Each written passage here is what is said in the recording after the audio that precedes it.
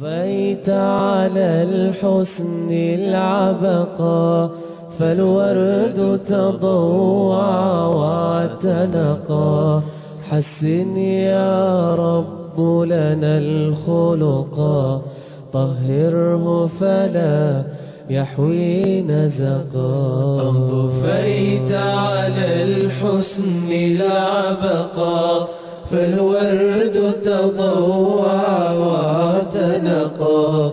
حسن يا رب لنا الخلق. الحمد لله رب العالمين والصلاة والسلام على رسول الله وعلى آله وصحبه وسلم تسليما كثيرا. إلهي سبحانه وتعالى أيام هذا له وهنين كما هذين إن ربي نعم كيسك لدوان دون إلهي سبحانه وتعالى إنه قلنا معي. نعم كاسك هو ظاهرة يكوى بادنا بله. Nicamkaasoo ay ugu horayso nicmatulislaami waliimaan oo ay tahay qof waliba ilaahay subxaanahu wa tacaala inuugu mahadnaqo walaalayaal sidaa uu sheegay akhuuna sheekh maxamed waxaa biidn illahi alkariim uu noqon doona mowduuca maanta kelmadeennu ay ku saabsan tahay. Mowduuca marka cinwaankiisa uu tilmaamay ee alakhlaaq wa ahmiyatuha wa fawaa'iduha. Akhlaaqda wanaagsan iyo dhaqanka fiican iyo muhiimadda uu leeyahay iyo sidoo kale fawaa'idda laga helaayo هي ميلها مهم أيو تهاي قفك مسلم كي إنه كبحية أخلاق دي سوون أحسن هذا إنه أي نقدر قلنا أخلاق دو محيط تهاي دو قفك سويديو وحول لنا قفك بني آدم كي وحول لي لبس صورة أما لبس مقال مقال إنه رنا وصورة الإنسان الظاهرة وصورة الإنسان الباطنة. ومقال إنسان كله يهي أو ظاهرة إنه مقدا وقفك بني آدم كي مركز إيش يسوي كل عدو قفك وقرنا يوم مقال كيس ظاهر كا sidoo kale muuqaalka baatinkiina waa muuqaal markaa qarsoon oo qofku uu ku baranayo qofkan markuu la dhaqmo ee muddo ay wada joogaan ama muddo marka arrimo ay dhex maraan. Sidaa daraaddeed ayaa qofku waxa uu leeyay labadaa muuqaal. Muuqaalkiisa markaa daahirkaa nuqsaantiisa isha ayaa lagu dareemaa oo qofku markaad aragto qof waxa weeyaan markaa le nuqsaan daahira waxa nuqsaan markaa xagga abuurka ama xagga daahirkaa qofku ishiisa ayuu ku arkaya. Hase haatee nuqsaanta markaa baatinka waa nuqsaanta xagga khuluqa iyo sidoo kale kamaalka markaa baatinka ee xagga akhlaaqda qofku wuxuu ku ogaan karaa la dhaqan qofkan markaas uu la dhaqmay rasuulkeeni maxamed ah calayhi salaatu wasalaam waxa uu ammaanay oo nebigu calayhi salaatu wasalaam in badan uu ka hadlay akhlaaqda wanaagsani qiimaha ay leedahay waxaa rasuulka calayhi salaatu wasalaam ducooyinkiisii waarig soo arooray ka mid a inuu rasuulku odhan jiray wahdinii liaxsani alakhlaaqi laa yahdi liaxsaniha ilaa ant wasrif canii sayi'aha laa yasrifu canii sayi'aha ilaa ant waxaa nebigu calayhi salaatu wasalaam uu odhan jiray ilaahu waxaad igu hanuunisaa akhlaaqda teeda fiican. Akhlaaqda teeda fiican igu hanuunin maayo ilaa adiga mooye cid kale igu hanuunin mayso. Ilaahu akhlaaqda xun iga du'oyo gees mari ima gees marinaayo cid kaloo i gees marinaysa ma jirto akhlaaqda xun iga duweysaa oo adiga aan ahayn buu nebigu odhan jiray calayhi salaatu wasalaam. Sidaa daraaddeed ayaa qofka muslimka waxa ay tahay inuu akhlaaqda ihtimaam fara badan ama dhaqankiisa markaa baatinka ee qarsoon inuu siiyo markaa tixgelin fara badan waxaynu ognahay qofku markuu tusaalahaan dibadda u soo baxayo uma dhex imanaayo inta badan markaa suuradiisa ama muuqaalkiisa daahirka uu ka soo shaqeeya waxaa laga yaabaa inuu muraayad iyo waxyaalaha isku eego marada uu xidhanayo inuu iska hubsado inuu iskagleediyo in kale. Waxaa laga yaabaa qofku kabaha uu gashanaayo muuqaalka markaa daahirku dadka ku dhex imanayo inuu aada isaga eego. Sidoo kale waxaa muhiim ah oo iyaduna taa markaa ka sii muhiimsan inuu qofku markaa uu eego akhlaaqdiisa markaa ama dhaqan suuradiisa markaa baatinka ee qarsoon taasoo ay ka turjumayso qofka markaas akhlaaqdiisu. Akhlaaqda markay culimmadu tacriifinayaan waxana waa cibaara can hay'atin fi nafsi raasikatin tasturu canha alafcaalu bisuhuulatin wa waxay idhaahdaan qofka bini aadanka marka la leeyahay akhlaaqdiisa ayaa markaa fiican oo wanaagsan. Waxaa loo jeedaa akhlaaqdu inay waxay tahay markaa hay qaab qaabkaasoo markaa dhaqankaasoo ku sugan markaa nafta dhaqanka naftaasoo ay ka soo fulayaan ama ay ka imanayaan afcaal wan wanaagsan iyo hadallo wan wanaagsan qofka ay ka imanayaan. Farqi ayaa wuxuu u dhexeeya bayna alkhuluq watakhalluq waxaa loo yaqaana alkhuluq oo dhaqankiya iyo watakhalluq qofku dhaqankaa inuu markaa uu dhaqan geliyo. Dhaqanka wanaagsan waxaa laga yaaba qofku inuu aqoon u leeyahay laakiin dhaqankaa fiican dhaqangelintiisu waxay u baahan tahay atakhalluq oo qofku inuu ka dhaqan dhigto wixii uu isku kalifo kadib ay dabci iyo caado qalbigiisa markaas ay u noqoto walaalayaal waxyaalo fara badan baa waxayna tusayaan akhlaaqda wanaagsan ee ahmiyadda ay leedahay wa makaanatuha fi lislaam iyo islaamka dhexdiisa makaanada ay ku leedahay marka bal dhowr qodob oo tusaaya akhlaaqda wanaagsani qiimaha ay leedahay ayaynu markaa tilmaami lahayn arrinta koowaad rasuulkeeni maxamed ah calayhi salaatu wasalaam waxa uu ka dhigay akhlaaqda wanaagsani inay tahay arrinkii ugu muhiimsanee nebiga loo soo diray calayhi salaatu wasalaam waxaa rasuulku uhi inamaa bucidtu liutamima makaarima alakhlaaq. Waxaa ilaahay subxaanahu wa ii soo diray oo aniga lay soo saray baa nebigu leeyahy calayhi salaatu wasalaam liutamima makaarima alakhlaaq. Akhlaaqda teeda fiican inaa dhammaystira baa nebigu yihi calayhi salaatu wasalaam markaas markuu nebigu caynkaa uu leeyahay inamaa bucidtu liutamima makaarim alakhlaaq. Makaarim alakhlaaqa ama akhlaaqda waxa soo gudagelaya oo qayb ka mida ay tahay قفكو إلهي سبحانه وتعالى سيدو ولا دقما أيو يسيدو كلا بشر كي بني آدم ككل حنول يسيدو ولا دقما الله بضوا وخلق ودقن مرى رسول هذا الكيس عليه الصلاة والسلام ويري إنما بعثوا ليتمم مكارم الأخلاق وعسوق دقل معاملة المرء مع الله قفكو إلهي سبحانه وتعالى ولا دقما أيو ومعاملة المرء مع مع مع الناس يقفكو سو خلق عمدتك ولا دقما أيو أقفك هدو إلهي سبحانه وتعالى عبادتي سو إلى وربي وكعب صدو oo ilaahay wuxuu ka xarimay uu ka fogaado. Awaamirta ilaahay subxaanahu wa tacaala uu ilaaliyo qaato fuliyo. Qofkaa waxa u badbaaday qaybtii dhaqanka ee ilaahay subxaanahu wa tacaala marka uu la lahaa.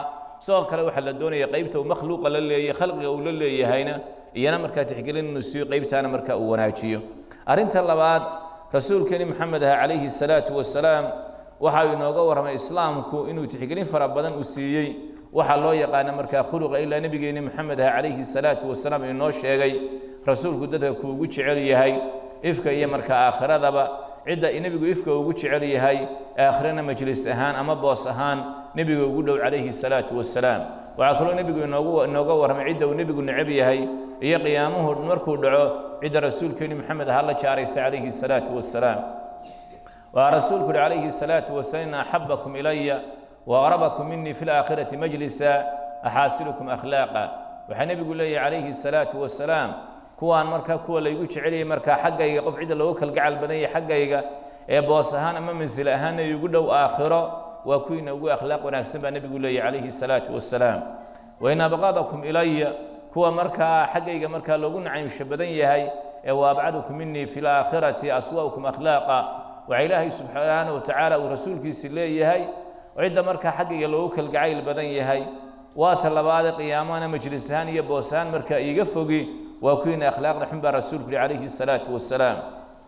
وحنا بيقول نقول هي ميزان قيام مركا الله صاره أشياء الله دول نجايو أشياء الميزان كقول الأسماء بيقول نوشك عليه الصلاة والسلام. ورسول كل ما من شيء أثقل في الميز في ميزان المؤمن يوم القيامة من حسن الخلق.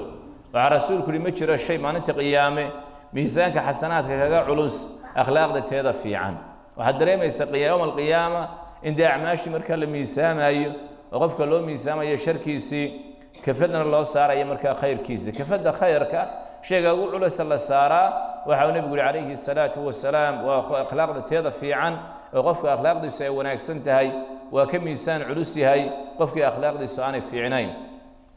Waxaa kaloo rasuulkeeni maxamed ah calayhi salaatu wasalaam inoo sheegay akhlaaqda wanaagsan in lagu gaadho درجات العليا درجات مركا أدو سرية وحسن هذا وعن النبي يقول إن المؤمن لا يدرك بحسن الخلق درجة الصائم القائم. ورسول كله عليه الصلاة والسلام وحوى ينقفك مؤمنك وحاو كقارا أخلاق دي ستيضا في عن درجة مركا صائمك قائمك. معنى قف صلاة أو تاقن مركا صلاة الليل. سيدا أو كلا صوم سنة أنا صوم هي درجة أو هلو. تاسو كو غاريا با نبي قولي عليه الصلاة والسلام مركوا بشارة رنتي وين إن قفك مؤمن كأخلاق لي سيوان أكسنيد يدغن كي سيفيعنا للي وحد كو غاري سامحي درجة الصائم والدرجة القائم. قف الله سبحانه وتعالى عبادة لي سوك عرب عابد أي قف الله سبحانه وتعالى وحد راد أصمنا أوف أوف أوف أوف تاسات كو نبي قولي عليه الصلاة والسلام وحلو ويدي رسول كريم محمد عليه الصلاة والسلام waxaa ugu badan ee ilaahay subxaanahu wa tacaala jannadiisa lagu galo. Bal suurayso qof walowba maxaad u malaynaysaa haddii maanta lagu weydiin lahaa adiga muxuu yahay akharu maa yudkhilu nnaasa aljanna. Shayga markaa ugu faraha badan ee ilaahay subxaanahu wa tacaala jannadiisa lagu galo. Haddaynu markaa taa qofku uu ka fekero waxaa ka jawaabay rasuulkeeni maxamed aha calayhi salaatu wasalaam oo waxaa rasuulku uu yidhi taqwa allahi wa xusnu alkhuluq waxaa lagu galaa ilaahay subxaanahu wa tacaala jannadiisa waxa ugu galo waxa ugu horreeya oo ugu weyn inuu qofku ilaahay subxaanahu wa tacaala ka baqdo oo cabsiduna waxay keensanaysaa inuu wixii ilaahay ka xarimay qofku uu ka fogaado wixii ilaahay ku waajibiyeyna qofku markaa uu la yimaado. Arrin labaad buu nebigu ku daro wuxuuhi wa xusnu lkhuluq iyo dabeecadda fiican baa nebigu yihi calayhi salaatu wasalaam waxaa walaalaya rasuulkeeni maxamed ha uu dhiirigeliyey oo axaadiid fara badan uu ku kulmiyey. Waxyaalaha markaa sabab u noqonaya qofku inuu ilaahay subxaanahu watacaala jannadiisa uu helo waxyaalaha sababta u noqonaya qofka inay dhaqankiisu markaa ay fiicnaadaan waxaa ka mid a inuu nebigu calayhi salaatu wasalaam uu mucaad ku yidhi itaqi illaaha xayثu maa kunt waatbici sayi'ata alxasanata tamxuha wakhaaliq innaasa bikhuluqin xasan waxaa nebigu leeyahy calayhi salaatu wasalaam mucaadow itaqi illaaha xayثu maa kunt meel kastoo joogto ilaahay ka boqo watabici sayi'ata alxasanata tamxuha xumaane hadday kaa dhacdana wanaag raaci way masixi doontaaye wakhaaliq innaasa bikhuluqin xasan dadkana waxaad kula dhaqantaa markaa dhaqan fiican. Ayaa nebigu wuxuu israaciyey xaqii ilaahay subxaanahu wa tacaala oo itaqi illaaha xayثu maa kunt. Meel kastoo markaa joogto ilaahay subxaanahu wa tacaala ka boqo. Waxaa kalood raacaysa xumaane hadday kaa dhacdo markaa wanaag raaci waxaa kaloo nebigu ku gebagabeeyey qofku si uu dadka ula dhaqmaayo oo waxaa rasuulku yihi markaa wakhaaliq innaasa bikhuluqin xasan. Dadkana waxaad kula dhaqantaa dhaqan fiican. Ayaa nebigeenii maxamed aha uu leeyahy calayhi salaatu wasalaam waxaa la tilmaamaa akhlaaqda wanaagsani waa asaasu baqaa'i lumam ummadu inay jiraan oo ummaduha aanay dabargo-in waxaa sabab u noqday akhlaaqda wanaagsan. Haddaad aragto ummad dhaqankii ka xumaaday hadday tahay markaa dhexdooda u dhaqmayso iyo hadday tahay markaa waxa weeye dadka markaa kale ummadaas ula dhaqmayaanba waxaa dhacaysa qof ummaddaasi waa ummad maraysa dariiqulinqiraad toobiyihii markaa lagu dabargo-aayey iyo toobiyaha markaa lagu baaba'aayo waa ummad maraysa. Sidaa daraaddeed ayaa qofku hadday ummaddu ku toosnaato akhlaaqdiidu ay fiicnaato oo dad ahlulkhuluqa marka ay noqdaanna وحدا عيسى إن إلهي سبحانه وتعالى دكاس بقاقو بمركا بقاقو من البسيط شوغان أي مركا سو يران أي مركا يسو كوب ميسو أخلاق لو ناسنا والله لا يلوحى أي سبب التهاي ومن أسباب المودة وإنهاء العداوات. محا سبب النقضات كمسلمين استعلادان لحظة محبة اعتماده ضد ولا لا أي نقضان. حقود إسكوليين أي لاليان. محا سبب النقضة. هذه عداود بتما دو عداود دكا إلح مرتو محا سبب النقضان أي عداود داس الصوحران تو سبب النقضان أي in dadkii dhexdoodii uu ku faafo walaaltinimo iyo ukhuwa iyo waxa ay ku faafaan umuurahaasi waxaa sabab u noqonaya waxaa loo yaqaana xusnu lkhuluq in cadaawad bilaabanta ay xidhanto albaabadeedu ay xidhmaanna waxaa sabab u noqonaya xusnu lkhuluq waxa uu ilaahi subxaanahu wa tacaala ayaa aayad qur-aana waxa uu ku yidhi walaa tastawi alxasanatu wala sayi'a idfac bilatii hiya axsan faida aladii baynaka wa baynahu cadaawatun kaanahu waliyun xamiim ilaahay subxaanahu wa tacaala ayaa waxa uu leeyahy ادفع بالتي إيه، ولا لا ولا تستوي الحسنات ولا السيئة. إلى هاي مس من شيء وناكسن يا شيء من مسنا بمعنى وناك قف قشو يا حمين هذا حميس الله بس من مركز أسماء. مركز إلى ادفع بالتي هي أحسن. تو وناك ابدا كنت دفاع حد يا شاروح وهذيك قد بونادا الحسن هي الأحسن وحضرتي ما دا الاحسن تو وناك ابدا لك هذا مركاسا إلهي وحلي مركا تا وناك بدن قفكي كحميي أدوك أدو وناك جسو وشي وناك سنة أدو السميسو قفكي وناك كو قلي شكوكا وناك سنة أدلت ما أدو فإذا الذي بينك وبينه عداوة وابكي أي لحدين علادي أي علادي أي تالي إي عذاوري وكأنه ولي حميم أدمودو ساحب لوبا إلهي سبحانه وتعالى أولي أرنتانا إن بضن أي واقع أنو كأرقنا قف مركا قف مركا علادي أي لحمرتي ودعنا حسن الخلق قفكا سوناك وليمي cadaawadda ay meesha kaga baxday. Waxaad arkaysaa laba qof oo walaaltinimo ay dhex taallo isjeclaa oo deedna markaa akhlaaqdooda xun daraaddeed markaa u coloobay maadaama aanay hayn markaa idfac bilatii iyo axsan aanay dhexdooda oolin cadaawadi markaa ay timi. Laba qof oo dhexdooda cadaawadi ay jirtay oo cadaawaddii ay ku suushay midkood wanaag uu galay iyo khayr markaas uu la yimi waxaa laga soo raray markaa nebigeenni moxamed aha calayhi salaatu wasalaam inuu xadiid uu ku yidhi inakum lan tascawu nnaasa biamwaalikum ولكن تسعونه تسعونهم بأخلاقكم. ذلك ديقسين ميسان. وحويان حول ديقسين ميسان. ذلك ميك حول أو قيبيه ودقال السيه ومدول دقال كريالي قليا كاكري مين مرك هساعة محينو كرينا. ولكن تسعونهم بأخلاقكم. ذلك لكن وحد ديقسين كريسان أخلاق دين. يدقكين نفيعا. والحديث مرفوع عنه والقصة ورراء هساعة وحاوب بدي مرك هذا الموقوف فإنو يهي وصحابة رسول الله تعالى علمت كم مرك أويلي. Khulaasadu marka waxa ay tahay akhlaaqda wanaagsani runtii waa markaa waxay leedahay markaa waxyaalo fara badan oo markaa fadaa'ila oo wanaagiya. Ah waxaa ka mid ah waxyaalaha ina khuluq afdalu ljamaalayn ana xusnu lkhuluq dabeecadda wanaagsani waa afdalu ljamaalayn labada jamaal ka sii quruxda badan weeye labada jamaal maxaynu gala jeednaa? Waxaynu gala jeednaa jamaalu daahir wa jamaalu lbaatin qofku laba jamaal buu leeyahy jamaal daahira oo muuqda oo qofku isha uu ku arkayo marka uu arko iyo jamaal markaa baatina oo qarsoon oo kaana maxaa lagu ogaada? Ama la dhaqan qofkan la dhaqanta ayaa lagu ogaada. Marka labada jamaalka sii fiicani waxa uu yahay jamaalka markaa baatinka ee xagga qalbiga ah ayuu yahay.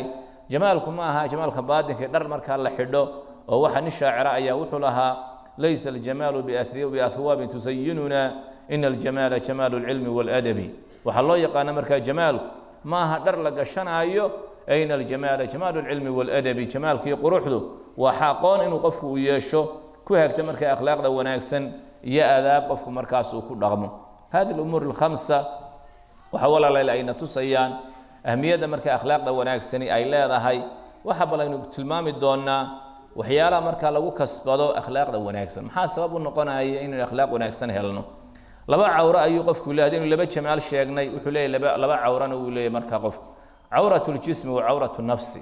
Cawratu ljismi waa macruuf oo qofka wuu garanaya cawrada markaa jidhku waxa ay tahay laakiin cawratu nafsi ma garanaya qofku cawratu nafsi waa akhlaaqda xun marka. Haddaynu sheegnay markaa jamaal laba jamaal inay jiraan.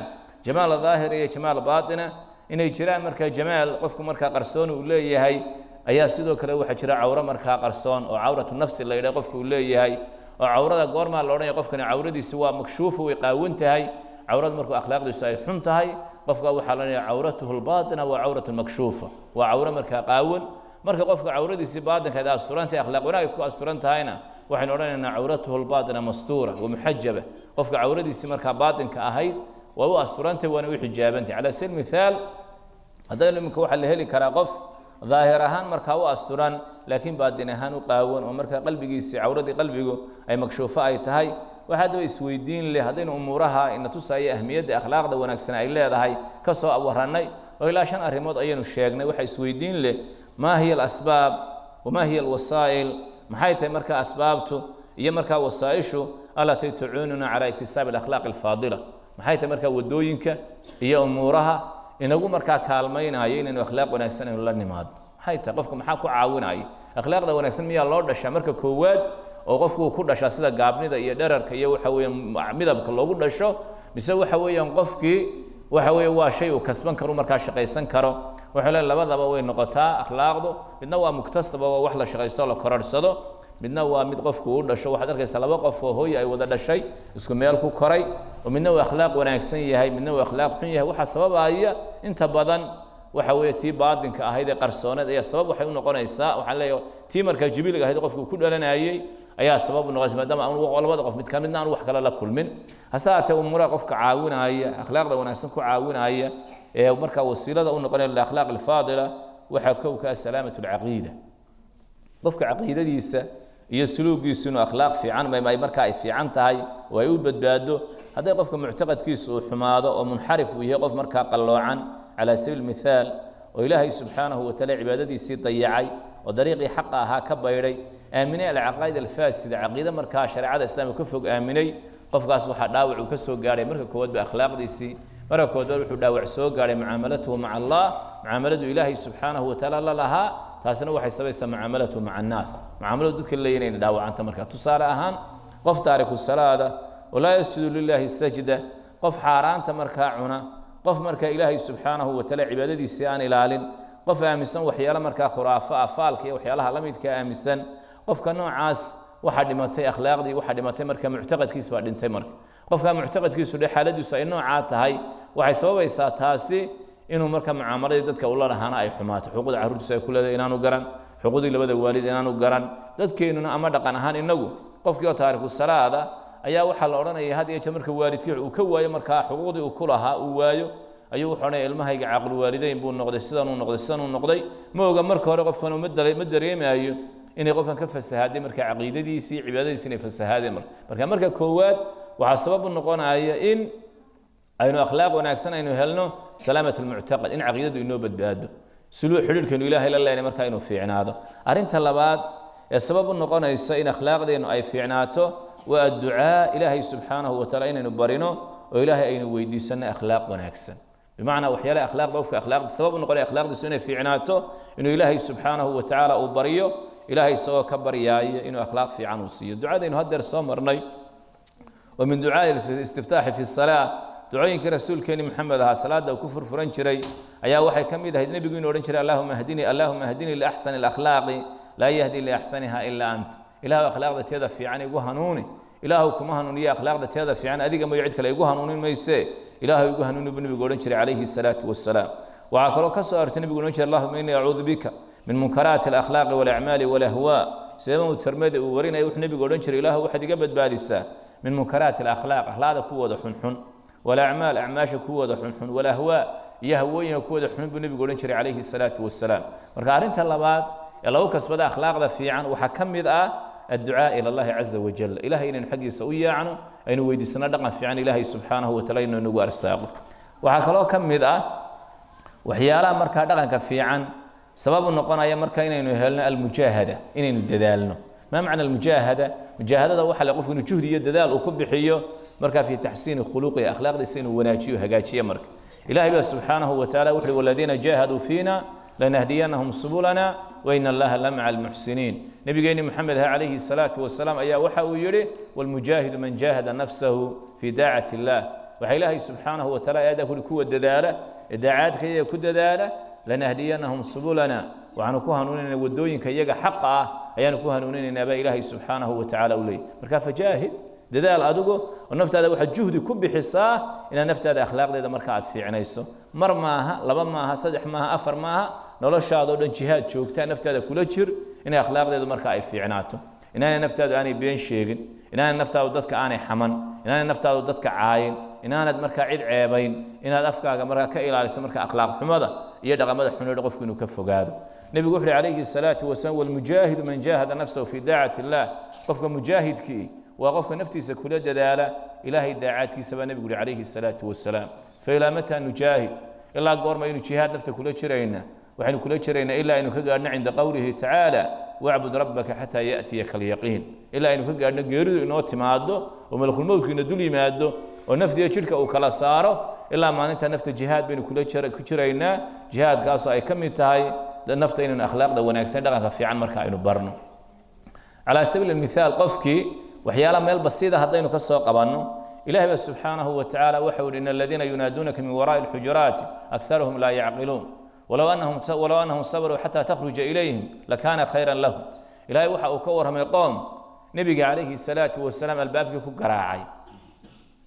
ودبنا السبر كري وآية رسولك كير الرهاجي لأن النبي قوق إليه عليه الصلاة والسلام مرقا سائل أوحي إن الذين ينادونك من وراء الحجرات أكثرهم لا يعقلون كوا كاجا قيلنا يا مركز يقول حق دب الدارد دب دستك قيلنا يا يا محمد يا رسول الله هل كاكلي أكثرهم لا يعقل أكثر كودو عقل ملا مرقا سائل أوحي ولو أنهم صبروا حتى تخرج إليهم أيا لكان خيرا لهم هدي أتسو أيسو إلى هايين أيسكسو إلى هاي أيسكس صبر لأن تأوصوا بحيسو ayaa u khayr badnaan lahayd marka xataa min makaarim alakhlaaq waxaa ka mid a markaynu guryaha garaacna haddii hore lainooga furi waayo inaynaan degdegin inaynu iska sugno quyar albaabka la garaaco waa waa marka akhlaaqda wanaagsan bay marka ay ka mid tahay. Waxaa ka mid ah akhlaaqda wanaagsan waxyaalaha inagu kaalmaynaya almuxaasaba bimacnaa muxaasabatu nafsi naftaada inaad baldub ugu noqoto نفتا هذا إن هذا هذه يشير لب حينه نفت هذا أنا دور نف مركب قيمة بدن وقاد قال قال لي أنا نفت هذا هو أرق. النفت هذا هذه يشير دبو إيجو روح هذا يكتب نفتة تلو محينه سنة هاي. أخلاق حن. تلو بين تمنا قندت بين على يلا ميينونا. تلو دت بالله ما هاي قالن كب حم ميينونا. تلو ميينو هذا صبر درنا صبر كود وحنيه تلو دول قاد كستين وكنا دير سينما دستين وكنا هاريتين واسدي كيف معاملتنا مع الناس. تتكستين ولا دقنا. Ilaahay subxaanahu wataala cibaadadiisa halkaynu ka taagannay waa inuu qofku muxaasabatu nafsi uu sameeyo waa sabab inagu kaalmaynaysa akhlaaqda wanaagsan inaynu la nimaadno akhlaaqda teeda xunna aynu ka tagno marka sababta afraad waxaa leeyahay shanaad ee inagu markaa kaalmaynaysa inaynu ku dadaalno akhlaaqda wanaagsan atafakur fi alaathaari almutaratibati calaa xusni alkhuluq waa inaynu eegnaa midhaha ka dhalanaya akhlaaqda wanaagsan haddaynu la nimaadno akhlaaq wanaagsan haddaynu la nimaadno midho fara badan baynu helayna midhahaynu helayna waxaa ka mid a inay haddaynu dadka aynu nabadgelino tusaale ahaan dadka aynu nabadgelino carabkeena aynu ka ilaashanay inagana dadka ayna nabadgelinaya haddaynaan dadka xaman dadkuna ayna xaman maayaan haddaynaan dadka ceebayn dadkuna ayna ceebayn maayaan haddaynu dadka asturno waman satara musliman satarahu llah haddaynu dadka caawinno wallahu fii cawni alcabdi ma kana alcabdu fii cawni akhiih haddaynu noqonno dad waxa weeyaan dadka kaalmeeya inagana ilah baa ina kaalmaynay marka waa inu qofku tafakur sameeya u eegaa akhlaaq wanaagsan haddaan la imaado maxaan helaya midho maxaan helaya haddaan noqdo qof xishood badan midhahaan helaya waa maxay haddaan noqdo qof cafiif oo dhowrsoon midhahaan helaya waa maxay waxaa kaleynu eegaynaa annadar fi cawaaqibi suu lkhuluq akhlaaqda teeda xun waxa ka dhalanaya waa inaynu eegno. Akhlaaqdan haddaynu la nimaadano maxaa ka dhalanaya markaa cawaaqib ah. Cawaaqib fara badan baa ka dhalanaysa. Haddaynu dadka xamanayana wayna xamanaya. Haddaynu dadka cayno iyana wayna caayaya. Haddaynu dadka masabidno iyana wayna masabidaya haddaynu dadka waxa weeye wax siin weyne iyaguna waxooda inaga ceshin waxbayna siin maayaan haddaynu dadku markay baahan yihiin caawin weyne inaguna maalintaynu baahana cidayna caawin mayso. Saasa arrintu noqonaysa marka. Marka waa inuu qofku eego akhlaaqda xunna maxaa ka dhalanayo waayahay. Arrinta toddobaad ee inagu kaalmaynaysa akhlaaqda wanaagsan waa inaynaan quusan oo alxadar aynu ka foojignaano min alyaasi min islaaxi nafsi. Nafta inaad markaad akhlaaqdeeda adeegto wallahi naftaadniyo beentay naftaadu taqaana walciyaadu billah wallahi naftaadi xanti taqaana wallahi naftaadu way barato muddo badan ba waxaad soo waday. Wallahi joojin kari waxaan leenahay waad joojin karaysa. Waxaad nafti u sheeg waxaad tidhaahdaa wallahi taqdir waad karaysaa arrintaa kari maysa haddii nafta ku tidhaahdo waad karaysaa dhe arrinta sideedaad ee kaalmaynaysa akhlaaqda wanaagsan waa culuw lhimma himma caaliya. Himme himme waxaa la han sare han sare hanko bal bal daba qof aynu eegno qof han yar oo dadka xanta qof han yar oo xaaraanta cuna qof han yar oo bilaa sabira iyo hankii ambiyadu siduu ahaa nebi maxamed baa lagu yihi wasbir kamaa sabara ululcasmi min arusul nebigaa lagu yihi nebi allah waxaad bidhaansataa ilaahay ambiyadiisii eego. Fabihudaahu muqtadi. Hanuunkoodii ambiyada raac nebiyullaahi maxamed ayaa waxaa lagu xidhaya calayhi salaatu wasalaam ummad ka horeysay oo ambiye oo saalixiina ayaa kuwaa hiigsaa la leeyahy markaa. Markaa hiigsigaagu soo dhallinyaradeenna maydaan ku arag. Qaar dhafoorada xiira dhafooradu xiiraya. Surwaalkana halkaa barida bartameedu ku xidhanaya مرك أستاذك يسموقال كذا سيدا ويا كذا سيدا ويا مرك وحقو درنا يا قال عيال السوق وقال ده ويدو كود عيال السوق ما كهان كي سيدا هان كي حار والوال كان نقضي مرك هان هوس أيو نقضي وحبا أنا هاي الأميل أنا كنا أيو نقضي قفنا وحدرك يستهان كيسو نيم حد إنه كود يدي عليه الصلاة والسلام صحابة يسينو كود يدو إنه قران كأخلاق ذيك قاتو مرك واحد لنا وحيلا إنه كالمين أخلاق ذا ونعكسن وحكم ذا الهمة هم عالية قف كينو ليه ماد هم عالية معني دوام inuu qofku cidduu ku dayanaayo iyo hankiisu halkuu taaganyay. Tusaale ahaan jannada ilaahay subxaanahu wa tacaala. Jannada ilaahay mar darajaadkooda way kala duduwan so sidaas ma ya? Waxaa kaloo kala duwan sida loo gelayana way kala duduwan dad baa han rasuulkeeni maxamed calayhi salaatu wasalaam ayaa fii yowmin min alayaam saxaabada la hadlay iyagoo saa u hor markaasaa nebigu wuxuu ummadayda waxaa ka mid ah sabcuuna alfin yadkhuluuna aljannata bikayri xisaabin walaa cadaab.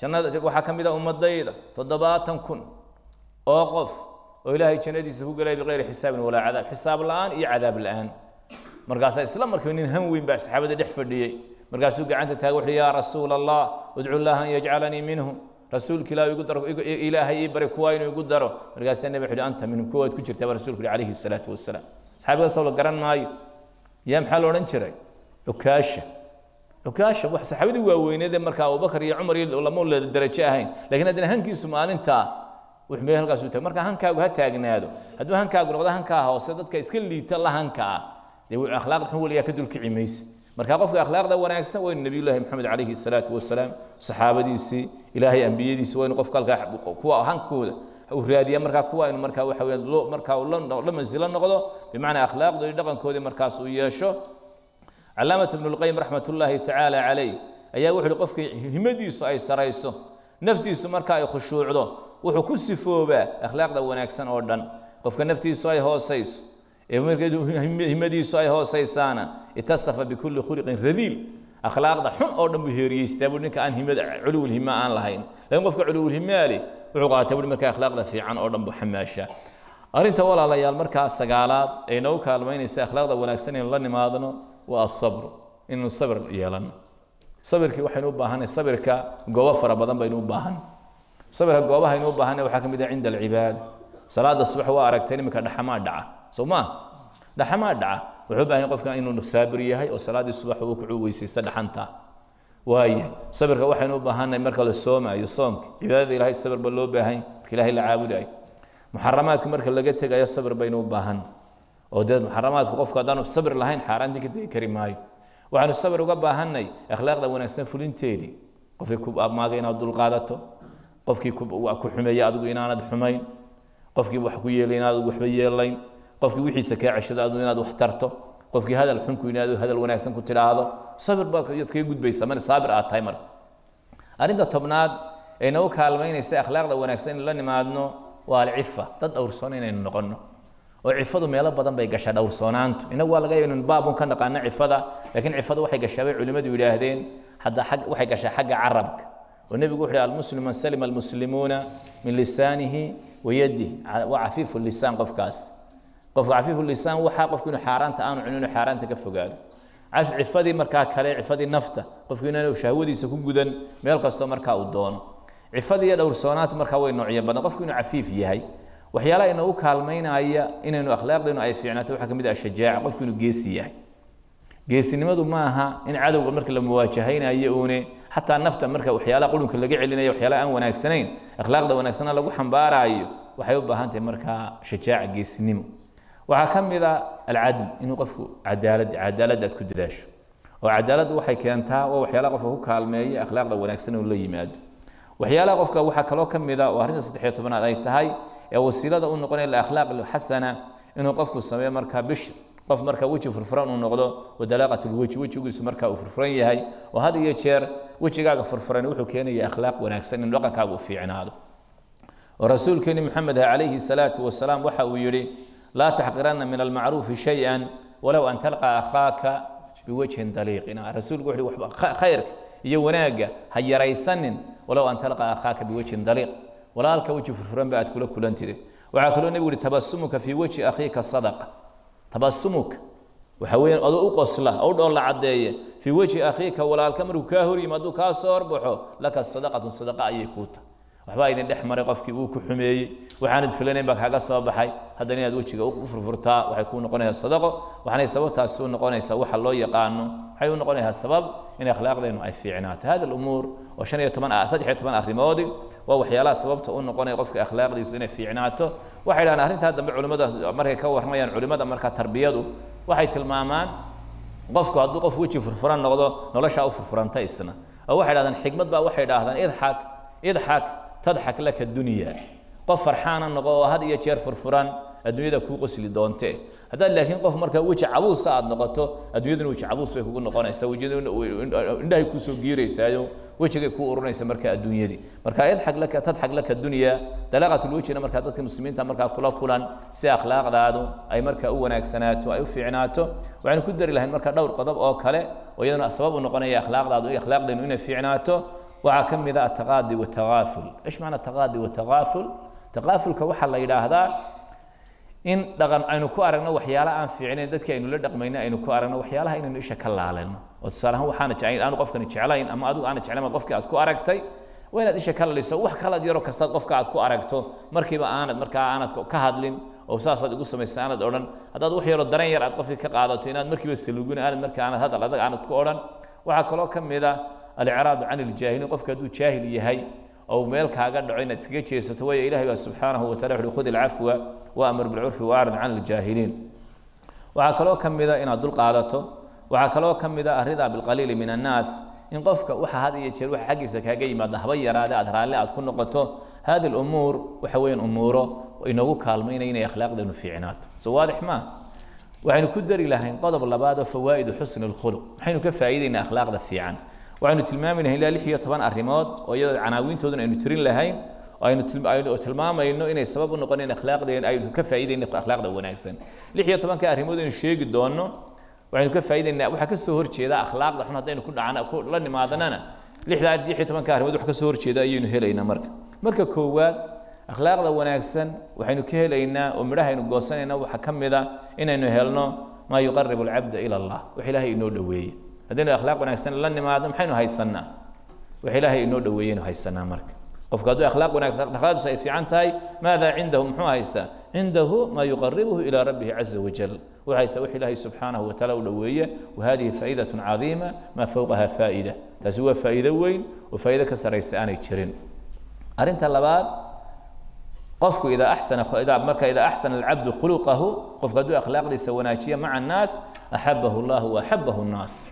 قفك هذا ده أخلاق صحيح في عندي دقة كيسه مرك هو ده الله مرك الله بعدنا أحبه الناس. ده كاتش علانا يا مرك. أنا أنت صدحات حسن الخلق يألف الناس ويألفه الناس. قفك أخلاق صحيح مرك هاي في عندي هاي يألف الناس. ده كسود ويسنية ويألفه الناس. ده كسود ويسنية. هذا أخلاق ده في عندي هاي ده كوسو حومة هي.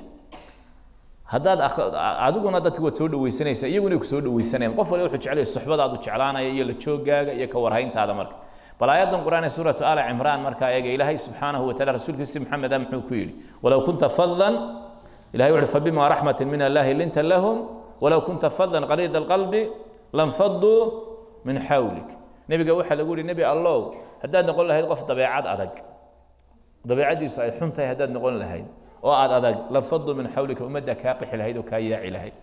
Marka qofka akhlaaqdiisa wanaagsan hadduu akhlaaq fiican yahay ummaddaa ku soo xonta oo soo dhaweysata marka.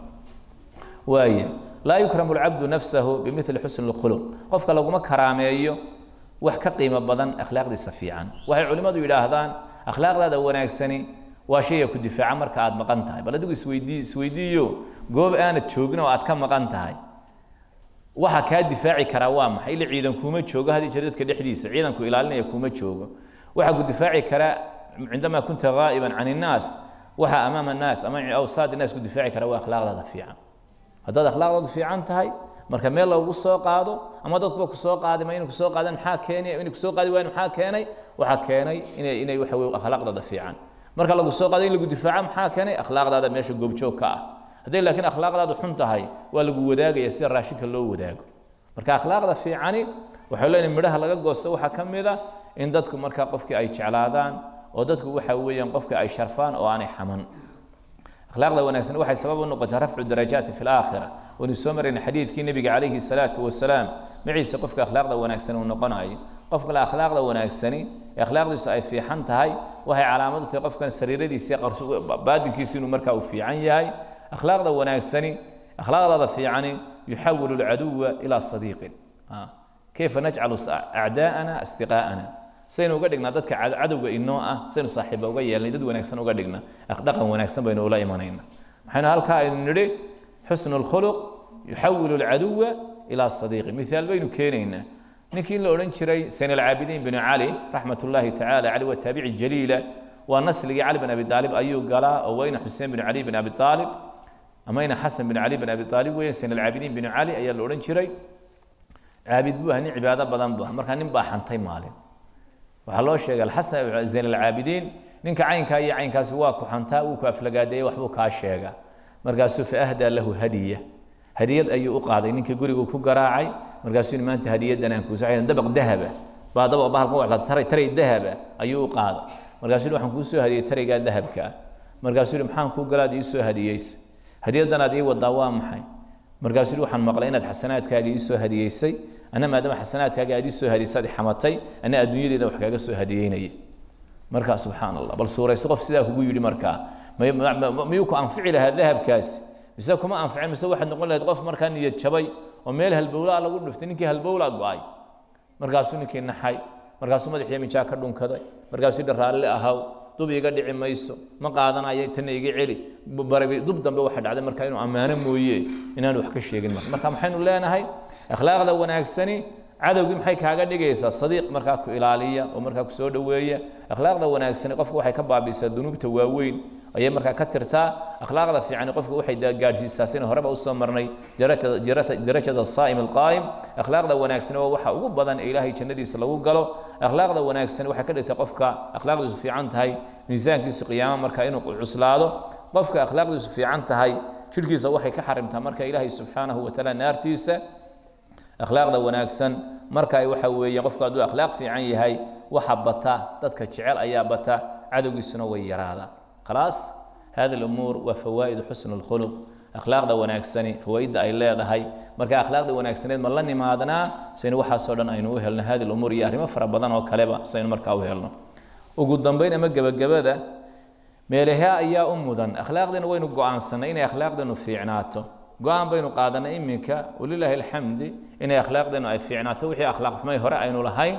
كل جنب إن لقب حقوق فراؤك قادم waxaa isweydiin leh halkee ugu mudan inaynu akhlaaqdeena wanaagsan aynu ku bixino kow maxaa ka ah bal qof walba feker cidda aad akhlaaqdeeda wanaagsan marka koowaad aad wax ka siin lahayd aad ku sooriyeyn lahayd waxaynu odhanaynaa akhlaaqdeena wanaagsan marka koowaad waxaynu ku sooriyeynaynaa bira alwaalidayn alab walum hooyo iyo aab marka kood cidda sooriyada aynu siinayna xusn alkhuluqa cidda koowaad lagu sooriyeynaya waa hooyadii iyo aabbihii marka waxaynu dhiga sooriyadooda ay noqonaysaa biru labadii waalid oo loo samafalo haddaynu bir lwaalideynka ka qadinno oo akhlaaqda wanaagsan bir lwaalideynka labadii waalid aynu ka qadinno waxaa meeshoodii soo gelaya cuquuq alwaalideyn walciyaadu billah. Labadii waalid oo caaq lagu noqdo. Aya kale waxaan leenahay wasilat larxaam qaraabadeena inaynu xidhiidhino waayo xusn waxaa kale aynu ka qayb gelinayna marka akhlaaqdeena wanaagsan aynu ku sooriyeynaynaa alixsaanu ila aljiiraan jiiraankana inaynu u samafalno. Kayfa naxnu waljiiraan iniga jiiraanka saynu isku nahay in jiiraanka samafal fiican marka aynu u samayno.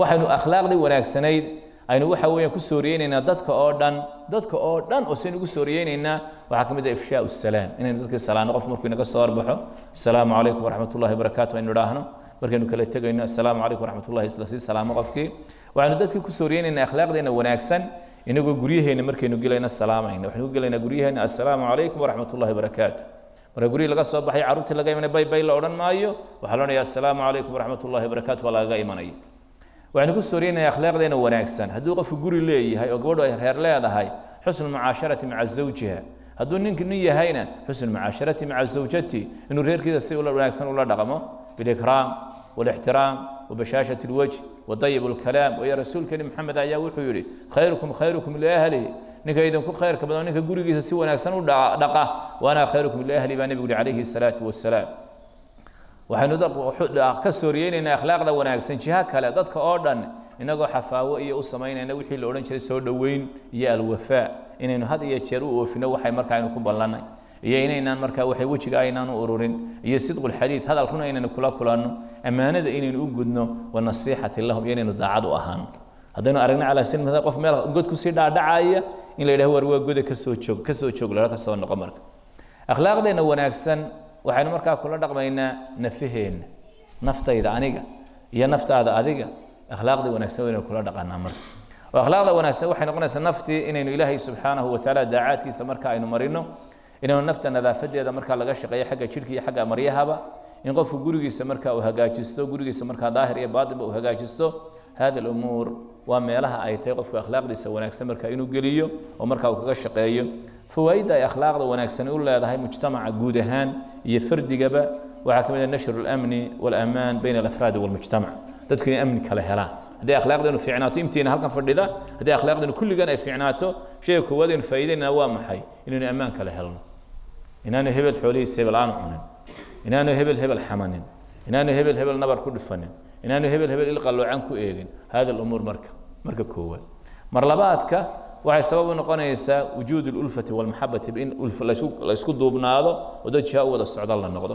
Waxay sabab u noqonaysaa siyadahu tacaawun watakaaful in la iskaashado oo camaladii khayrka ha wada qabtay akhlaaqdii wanaagsaneed waxay sabab u noqonaysaa in laga qayb qaato mujtamac iyo bulshadaynu ku noolnahay inaynu marka aynu u adeegno oo marka aynu ka shaqayno. Waxay sabab u noqonaysaa bardu ruuxi tasaamux in la oo waxa weye la isasaamaxo laguna nashray markaa tasaamuxa dadka dhexdiisa inagoo shicaarkeenna uu yahay walcaafiina can innaas walkaadimiina alqayda walcaafiina can innaas wallaahu yuxibu almuxsiniin taasi waa akhlaaqda wanaagsan midhaha ay leedahay. Allaha macbuudkaana waxaynu ka baryaynaa hada alumuur aynu isinidhi in ilaaha macbuudkiina waafajiyo kuwa dhaqangeliya inaga dhigo.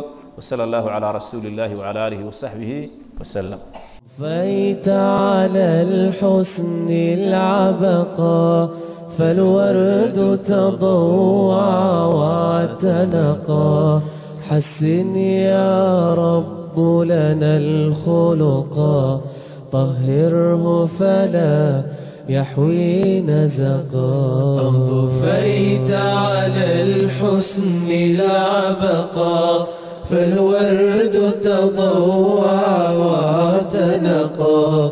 حسن يا رب لنا